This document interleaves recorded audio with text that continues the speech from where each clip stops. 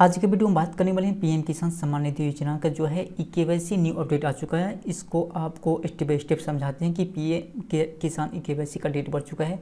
और यहाँ पर जो भी यहाँ पर आधार कार्ड से जैसे कि मोबाइल नंबर लिंक था, उसके थ्रू आप यहाँ पर ई के करते थे उसको भी यहाँ बता दिया गया है। तो आपको किसे क्या करना है, इसके बारे में कंप्लीट आपको इस वीडियो में पता चलेगा। इससे पहले पीएम किसान की अपडेट के लिए हमारे चैनल को सब्सक्राइब कर लें नोटिफिकेशन बिल ऑन करते जिससे आने वाली वीडियो की जानकारी आपको सबसे पहले मिला करें। तो सबसे पहले आपको जो है पीएम किसान के ऑफिशियल वेबसाइट पीएम किसान कोड गवर्नमेंट डॉट इन पर आ जाना है। लिंक आपको वीडियो को डिस्क्रिप्शन मिल जाएगा डायरेक्ट आप उस पर क्लिक करके इस पेज पर आ सकते हैं। इस पेज पर आने के बाद यहाँ देख सकते हैं ई के जो है सभी किसानों के लिए जो ज़रूरी है इसको आप यहाँ चेक कर सकते हैं।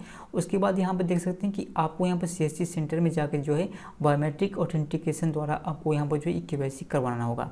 तो इसके लिए आपको यहाँ पर जो आधार बेस्ड ई थ्रू ओ जो था, उसको जो है यहाँ पर देख सकते हैं सस्पेंड कर दिया गया यानी कि यहाँ से जो हटा दिया गया है।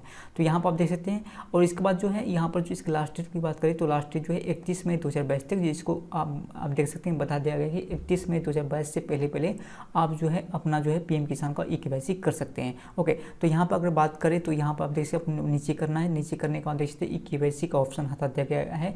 तो आप जो है, आप जो है घर बैठे, यानी खुद से आप जो है ऑनलाइन माध्यम से अपना ई के नहीं करवा पाएँगे। पहले क्या होता था, जिसका भी आधार कार्ड से मोबाइल नंबर लिंक था, उसको जो है आप खुद से भी जो है घर बैठे जो है अपना जो है ई के कंप्लीट करवा सकते हैं, जिसको ऑप्शन हटा दिया गया है। ओके तो आपको यहाँ क्या करना है? अपोज किसी भी सी सेंटर पास जाना है और वहाँ पर के हो जाएगा। अगर आपको यहाँ पता करना है कि ये जो है ओ टी ऑथेंटिकेशन जो था, आधार कार्ड से नंबर लिंक वाला, वो कब तक चालू होगा? तो सिंपली आपको यहाँ पर कॉन्टेक्टर्स के ऑप्शन पर आ जाना है। चलिए इस पर जो है क्लिक करना है आपको। इस पर क्लिक करने के बाद सिंपली आपको इस तरह का इंटरफेस दिखाई देगा। सिंपली आपको नीचे करना है। नीचे करने के बाद जो है सिंपली आपको जो है इस नंबर को कॉल करना है। ये जो है पीएम किसान हेल्पलाइन है।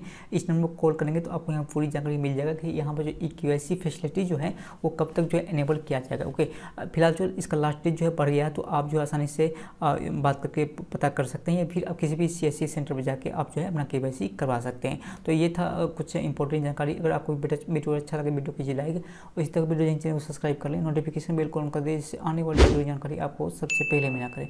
Thank you friends